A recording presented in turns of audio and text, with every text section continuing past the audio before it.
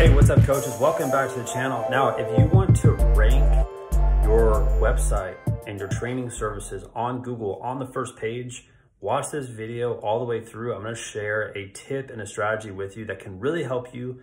Um, even if you have a brand new website, this is gonna help you rank on the first page of Google. This is something a lot of coaches do not know how to do. Once you have this set up, you're gonna get way more customers online. So random people who are searching online, they will find you um, as long as you have a good website and you have an application system set up, this is gonna help you uh, make way more money in your business. So watch this video all the way. All right, so I'm gonna take you behind the screen here, all right? And I'm doing a simple search, personal basketball training Chicago. Now the first things that pop up, we have coachup.com, we have lessons.com. Right below that, all right, check this out. We have the map. This is the Google Maps here of the locations. Now, most coaches that have training businesses don't have profiles on CoachUp or on lessons.com. These two companies right now are spending millions of dollars per year advertising to make sure their website shows up number one because when parents search, they're going to click on the first couple things that are at the top. So you want to create a profile here, you can get free leads from there. And you want to create a profile here, you can get free leads. Now, the way you can rank your business on the first page is see what these guys are doing here.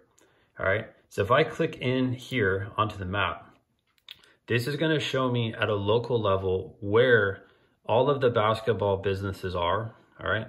And then you can see here, we have the star rating. So these are the reviews that are left for uh, these businesses. And then you can see here, I can click on the website.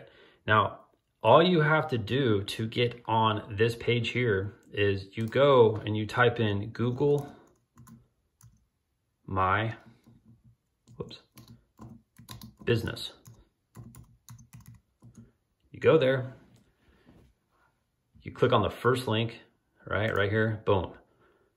Now from there, you go and you create an account here. I already have an account on my end, so like on yours, you'll just either click manage now or set up. Now what will happen is it will take your business and it will show up on the map.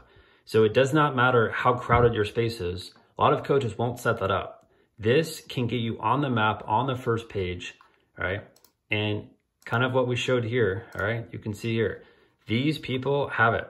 They're already on the map. So one thing that's really important is you wanna get a lot of reviews. If you have a lot of reviews, that's gonna help you because if people click on the reviews and there's nothing there, then it doesn't look like a real business, right? This helps you get so many new clients in the future. You can get ranked on the first page of Google. All you got to do is go to Google My Business, set that up, and it will pop up. Like there's a process that you have to go through. I'm not going to break all that down, but like once you go through that process, your website will pop up here. And imagine if anyone's searching private training, any of those keywords in your city, all right? If they find you, you have a big advantage. If they can't find you, then your competitors have the advantage, right? So that's all you got to do to set this up. I hope this video helps you. If you want more videos like this, hit that subscribe button. If you want to learn more about how to grow your training business, reach out to me at the number that pops up on the screen right now. Send me a text. I'd love to connect with you personally.